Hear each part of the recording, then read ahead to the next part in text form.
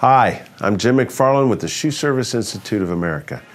And in today's video, I'm going to talk about the importance of buying good quality footwear. This is very important when it comes to your investment for your wallet and your feet. With proper shoe repair and a quality pair of leather dress shoes, you can last 10, 15, even 20 years. Unfortunately, these days, you have to spend a bit of money to get a good pair of shoes. But you're going to spend a lot more over the years on a pair of shoes that cannot be repaired and have to throw them away every time they become worn. The two most important things to consider when purchasing a new pair of shoes is number one, are they made of leather, which ages well and can be polished and cared for. Number two, have a leather or rubber sole that can be easily resoled.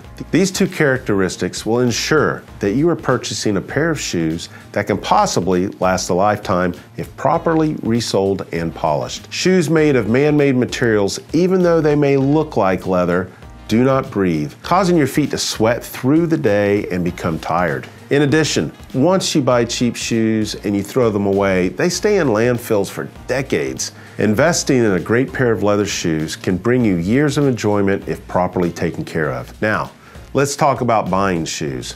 Let's say you spend $100 on a pair of shoes. Most of the time, you can't replace the soles once they're worn out, and in the trash they go.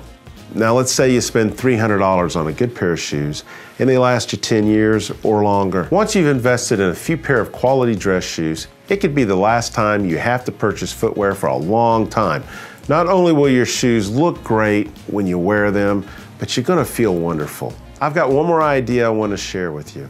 If you don't want to spend a lot of money on a pair of shoes or don't have it, many times a gently worn pair of leather dress shoes, such as Allen Edmonds, can be purchased in great condition for as little as $50. With a little bit of shoe polish, maybe some shoe care, a new pair of outsoles, maybe some heels, these $50 shoes can be made to look like new again.